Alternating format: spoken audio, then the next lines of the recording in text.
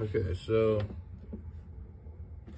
the Milwaukee's have been failing on me. I think guys been leaving them in the sun after they're run dead, waiting to be charged. Not having enough chargers on site probably mattered. Anyway, these uh, Chinese versions, just an idea of the difference of quality. They're definitely worse cells. This is about a year old battery and uh, it has popped at some point and you can see the battery acid down in the tray. So it's, it's only giving me like 0.8 volts on each um, cell.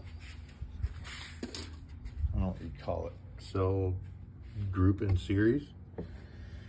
Anyhow so you can test these things figure out your groups look for patterns like that plate there groups three batteries together right?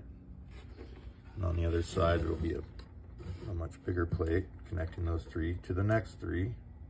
This is the uh, positive side. Yeah, no, negative side.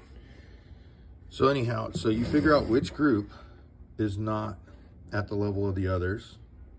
In this case, these are at 4.08 volts, each group of three, 4.8, 4.08, 4.08, and then this one was like 2.9 this group of three.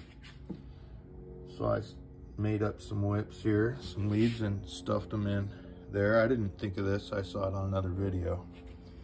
Um, and you got to get this model of the Opus battery charger. Put a wedge in there and then set it up as many, uh, as high a voltage as you can pump into this thing and try and, what you're doing is trying to equalize. You're trying to bring the, 3.95 up to the 4.08. I'm up to 3.95, but I don't know if I'll get there. If I don't get there, then, I mean, I don't know what I'm talking about here, but basically I think it's the weakest chain link in the chain and it will continue to, if you don't straighten it, bend it tight, if you will, that chain will open up again. You gotta get it to 4.08. There's my metaphor for the day. This cell is, this group of cells is the weakest link in the chain.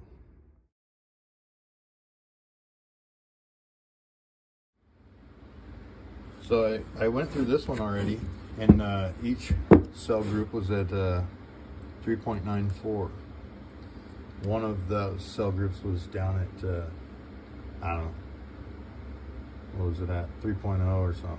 Brought it up to 3.95 Put it all back together, stuff it on a device, and uh, works great. I actually use it on the blower, which really draws batteries down fast. And uh, one thing I've done is um, just simply unplug it, wait 15 minutes. Once I see it, those numbers kind of plateau and not not go up. So um, that's what. Uh, and, and, then when I when I reconnect, I'll get another. I don't know, two tenths or something. Doing another 15 minutes off. I don't know what can happen here. If these things could pop, and explode, I don't know. But I did fix one, and there's several. So we'll see. Figured out how to fix these things and we've learned that I mean for $30 for a year I guess it has some value but they're nowhere near as good a cells as these Milwaukee's